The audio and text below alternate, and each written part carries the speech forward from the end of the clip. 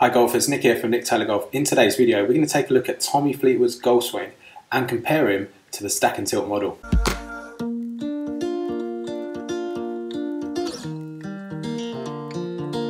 So in my opinion, I think Tommy has one of the best golf swings in the world of golf right now. First thing we're going to do is take a look at Tommy's swing, compare him to sort of the 10 words of the stack and tilt golf swing. So the first thing Tommy does is keep his weight forward in his swing. When we're talking about the weight, we're talking about the lower body weight. If you watch in the backswing, he stays inside this line, and then in the downswing moves forward, so his weight is moving forward. He also moves his shoulder down. So when you look at his swing in the backswing, his left shoulder moves down, and in the downswing, the right shoulder moves down. Next thing we take a look here is the hands. They work around the body in the downswing and through into the finish. The next thing we'll look at in Tommy's swing is keeping his arms straight. You'll see through the downswing into the follow through how Tommy keeps his arms straight. And the final piece of the 10 words is the hips tucked in the finish. As he goes through, you can see how his hips push forward of his upper body and extends his spine into the finish.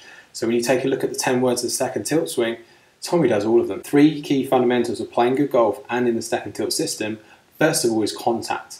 And Tommy makes really good contact. He hits the ball first, then the ground. So his low point is in front of the golf ball. The next thing Tommy does well is create power in the golf swing. He hits the ball a long way. The third key fundamental is controlling the curve of the ball and Tommy hits a draw every time. You can see club path is in from the inside. It's a nice high draw with every club in the bag. So Tommy does all the three key fundamentals of the stack and tilt swing.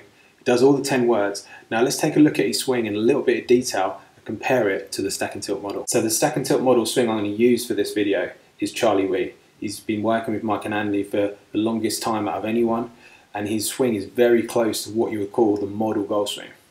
Like I said before, stack and tilt is a system for playing golf based on those three fundamentals I mentioned earlier, if we were to choose a model swing, Charlie Wi would probably be the closest to it. So we're going to look at both angles.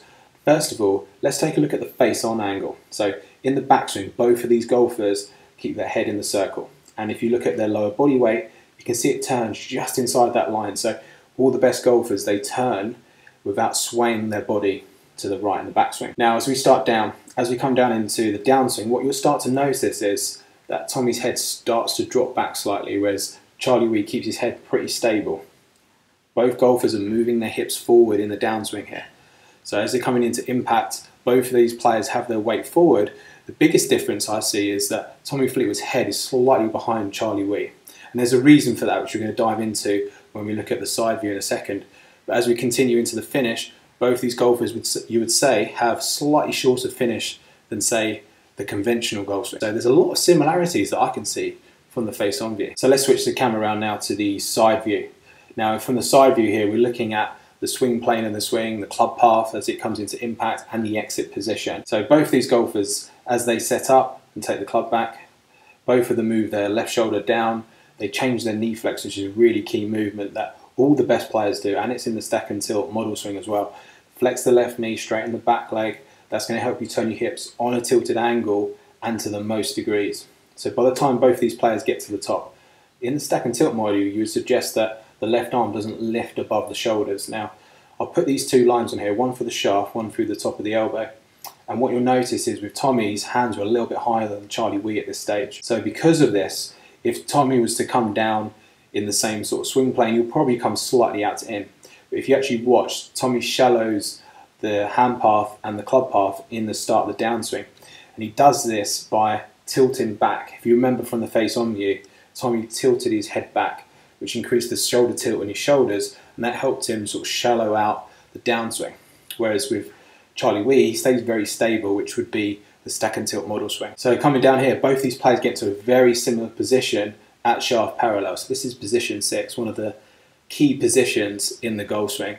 And you can see here both these players have started to turn, they've started to move their weight through, and the club head is just inside of the hand. So from this position, you would expect a slight draw. Now coming through to the finish, you can see the club exits just below the left shoulder, which would be sort of the on-plane position. So both these golfers have moved their hands behind them in the downswing and into the follow through. So they're swinging on a circle on a tilted angle. So both these players have the shorter finish. And I know Tommy's been asked about this position before that's one of the big things that he's changed in his swing since he first came on tour, and that's the sort of iconic move in the stack and tilt swing. He did a lot of like straight arm swings where I had to turn my body, um, so there was a lot of like windmill swings going on. and all of them basically, what we did was there was no hands and no wrists involved. It was all body and all connection. And um, the more I practiced it, the more it became apparent that it was um, like a good thing for me. And I just I ended up starting playing like that. I mean, I get absolutely nothing out of once the club's here. I get nothing from going long. Uh, so actually, it's like a little bit of a waste of energy. So to summarise, there, you would say that Tommy ticks all the boxes, all the fundamental key things that stack and tilt swing does. However, if you were to compare him to the model in a bit of detail, you can see that he has that slight tilt back with his head in the downswing. But he kind of counteracts that by moving his hips forward as well.